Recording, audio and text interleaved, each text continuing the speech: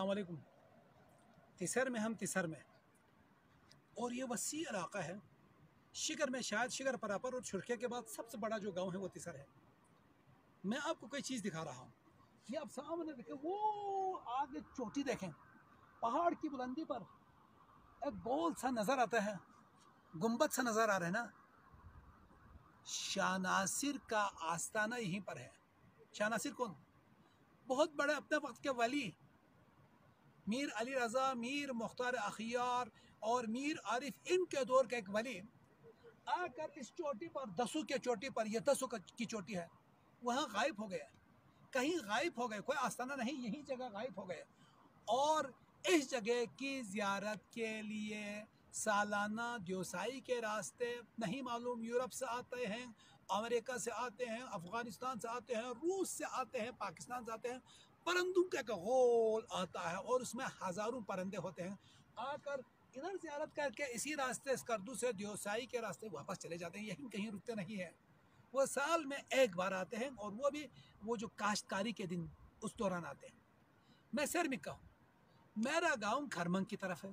स्कर्दू से 40 किलोमीटर फासले पर है और स्कर्दू से यहाँ तक कोई 100 किलोमीटर तकरीबन बनता है और सिरमिक से यहाँ तक 100 किलोमीटर।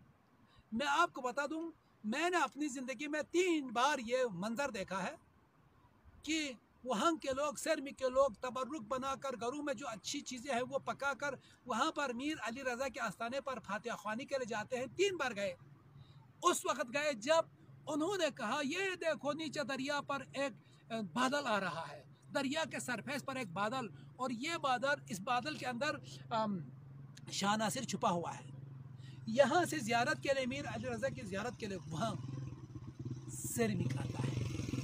और मैंने खुद देखा है, जनाब, उस पर दरिया के ऊपर एक बादल है और बादल आ, आकर सिरमिक सिरमिक से ऊपर नहीं जाते दरिया के साथ। सिरमिक से वो नदी के साथ टर्न करके यूँ नदी के साथ और नदी से एक नहर के साथ सीधा मीर रज़ा के आस्थाने के अंदर और आस्थाना उस बादल से भर जाता है, आस्थाना गायब हो जाता है बादलों के अंदर। वो छोटा सा आस्थाने के अंदर बादल भर जाता है। और फिर वही बादल वहाँ से दोबारा पानी पर, पानी से पानी के रास्ते गोल की तरफ़, और ये सफ़र करते करते यहाँ पर। हमारे लोग कहते थे, ये मीर अली रज़ा से मिलने के लिए शाह नासिर दस से आए हैं।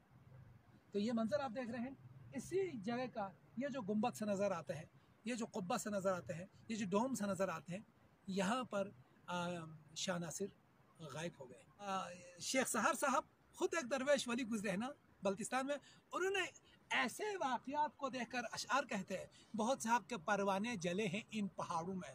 बहुत से राज कुदरत के खुले हैं इन पहाड़ों में। ये जैसे कोह पैमाई की टीमें आज चलती हैं फ़कीरा ने खुदा पहले चले हैं इन पहाड़ों में। तसवुफ़ के रमूस अक्सर हुए कंधा चट्टानों पर, अदब के गुल सता फूले फले हैं इन पहाड़ों में। सहर पानी है हर जी रूह की वजह, बका देखो। कई चश्मे हर एक पत्थर तले हैं इन पहाड़ों में। हम चाहते हैं इजाज़त। अलैक्म।